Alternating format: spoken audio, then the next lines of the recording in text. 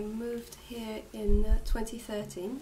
Yes, yeah. I moved because, well, we had been dating for two years, and so Mommy, we, mommy, when I lost my job, mommy. instead of looking for a job in Paris, I looked. For, uh, I moved here and I looked for a job in London. So the morning of the on the 24th of the morning, morning of the 24th, I was very surprised, a little bit shell shocked. Yeah, I would like her to have both passports, like the British passport, so that they can't expel her, Mm-hmm.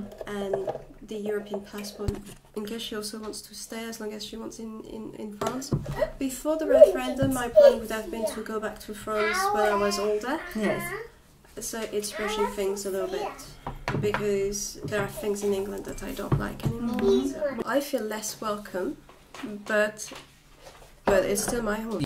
I, I, I, I would, would- I would even, no. I would even advocate for a, for a, for a Lexit and have London.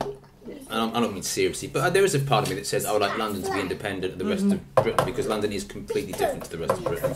I like I like the English countryside. Like, You like the countryside, you like the English people in the countryside. Some of them, yeah, but it's like it's like the French countryside. Some are just like Three, four, rabid racists, but no, it's Thank you.